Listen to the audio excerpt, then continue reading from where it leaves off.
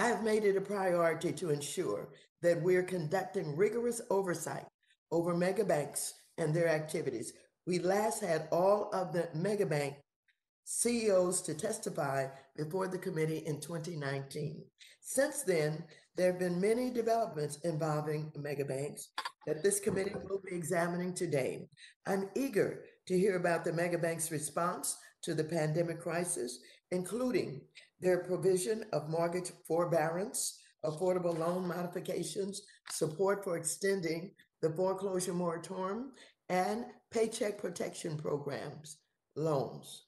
I'm concerned that the institutions led by our witnesses raked in billions in overdraft fees during the pandemic at a time when so many individuals and families across the country are struggling through no fault of their own. Additionally, some of our banks prioritize wealthier clients for PPP lending while processing smaller loans at a much slower rate, or in some cases, turning small and minority owned business away altogether. We heard so much about this from all over the country. I've also asked our witnesses to describe their institution's efforts to reach underserved communities and address banking deserts where communities do not have access uh, to a bank branch.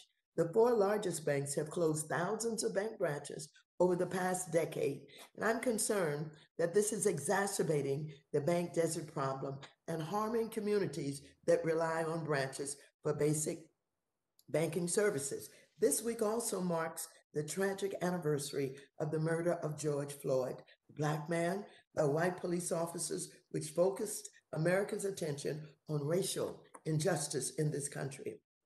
The megabanks responded by making a number of large commitments to support minority depository institutions, community development, financial institutions, and communities of color. Given that these banks have repeatedly been found to discriminate against our communities, the CEOs will be asked to explain if their banks are following through on those commitments and to learn what additional actions they will take this year to address racial disparities that remain pervasive in our banking system.